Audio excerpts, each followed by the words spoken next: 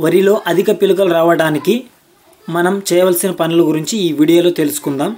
ముందుగా విత్తనాలు ఎంపిక అనేది చాలా ముఖ్యం. మీ ప్రాంతాలకు సంబంధించి విత్తనాలు ఏవైతే అనుకూలంగా ఉంటాయో విత్తనాలను ఎన్నుకోవాలి. నారుమడి నుంచి లేత నారును తీసుకోవాలి. అంటే ఇరవై ఐదు నుంచి ముప్పై ఐదు రోజులు వయసు కలిగినటువంటి నారును తీసుకోవడం మంచిది. నారు వేసుకున్న తర్వాత పిలకలు అనేది ఇరవై నుంచి నలభై ఐదు రోజుల మధ్యలో పిలకలు అనేది వస్తుంటాయి. పిలకలు ఎక్కువగా ఎందుకు రావు అని మనం గమనించినట్లయితే భూమి సరిగా లేకపోవడము పోషక లోపం కలిగి ఉండటము. అయితే ముఖ్యంగా వేరు వ్యవస్థ అనేది బాగా ఉన్నప్పుడు ఎక్కువ పిలకలు వచ్చే అవకాశం ఉంటుంది. వేరు వ్యవస్థ బాగా రావాలంటే పచ్చిరొట్టె ఎరువులను వాడుకోవాల్సి ఉంటుంది. భూసారం ఎంత పెరిగితే అందులో అంత దిగుబడిని మనం తీయవచ్చు? పచ్చిరొట్ట పైర్లు వచ్చేసి జీలుగా అవిష జనుము అలసంద పిల్లి పెసర పెసర మినుము ఇలా పదహారు రకాలు ఉన్నాయి వరితో పాటు ఏ పంట సాగు చేసినా నత్రజని భాస్వరం పొటాష్ ఎరువులు అవసరం అవుతాయి కాబట్టి ఇవి పచ్చిరొట్ట పైర్లు సాగు చేయడం ద్వారా నత్రజని భాస్వరం పొటాష్ ఎరువులు సంపూర్ణంగా అందుతాయి. పచ్చిరొట్టె ఎరువులను కలియదున్నడం వల్ల భూమి సారవంతంగా మారుతుందన్నమాట.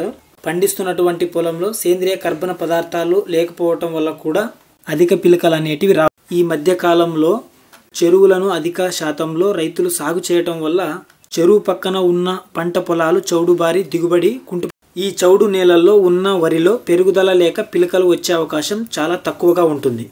మొక్క అనేది గిడసబారిపోయి ఎదుగుదల చాలా తక్కువగా ఉంటుంది. నేలలో చౌడు స్థితిని బట్టి జిప్సం ఎరువులు వాడుకోవాలి. చౌడు బారినటువంటి పొలాల్లో నీరు మంచి భూమిలోకి వదులుకోకూడదన్నమాట. ఈ పొలాలు కూడా చౌడు బారే అవకాశం ఉంటుంది. చౌడు భూముల్లో ఎక్కువగా ఎరువులు వచ్చేసి పచ్చి రొట్ట ఎరువులు జీలుగా మరియు పశువుల ఎరువులు విరివిగా వాడుకుంటే ఫలితం మంచిగా ఉంటుంది. ఇలాంటి చౌడు భూమిని తగ్గించుకోవడానికి మంచి నీటిని కానీ వర్షపు నీటిని కానీ వాడుకోవాలి. మనం వాడే ఎరువులతో పాటు ఈ భూమిలో ఇరవై ఐదు శాతం అధిక ఎరువులను వాడుకోవాల్సి ఉంటుంది. నాట్లు ఆలస్యంగా వేసినటువంటి పొలంలో అలాగే పొలంలో చదును ఉన్నటువంటి భూమిలో నీరు నిల్వ ఉండి జింక్ లోపం ఏర్పడే అవకాశం ఉంటుంది. ఈ జింక్ లోపం ఉన్నప్పుడు కూడా పిలకలు వచ్చే అవకాశం చాలా తక్కువగా ఉంటుంది. జింక్ లోపం ఉన్నప్పుడు మొక్క గిడసబారిపోతుంది. అలాగే ఎర్రగా మారి మొక్కల్లో ఎదుగుదల ఉండదు. జింకు లోపం ఉన్న ఆకులు చిన్నవిగా మారి శబ్దం వస్తూ విరిగిపోతాయి.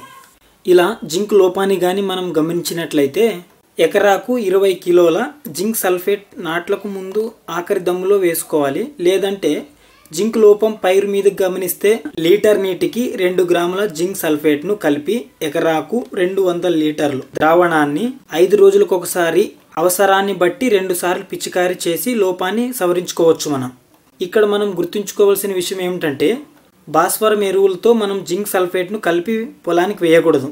భాస్వరం ఎరువులను వేసిన తర్వాత జింక్ సల్ఫేట్ను వేయటానికి కనీసం వచ్చేసి మూడు రోజుల వ్యవధి ఉండాలి. మనం నారు నాటిన వారం పది రోజుల్లోపే భాస్వరం ఎరువులను లేదా పది రోజుల్లోపు వేసుకోవాలి. ఈ విధంగా వరిలో అధిక పిలకలు రావటానికి నాట్లను సరైన సమయంలో వేసుకోవడం నాటు వేసుకున్న తర్వాత ఇరవై నుంచి నలభై ఐదు రోజుల్లోపు పిలకలు ఎక్కువగా వస్తుంటాయి కాబట్టి వాటికి తగిన పోషకాలను అందించటం. అలాగే చౌడు భూములో ఉన్నప్పుడు మనం ఎలాంటి చర్యలను తీసుకోవాలి లాంటి విషయాలను అలాగే కొన్ని పొలాల్లో నీరు అనేది ఎక్కువగా నిలబడుతూ ఉంటుందన్నమాట. ఈ విధంగా నిలబడటం వల్ల జింక్ లోపం వచ్చే అవకాశం ఉంటుంది. దీనివల్ల కూడా ఎక్కువ పిలకలు రావు.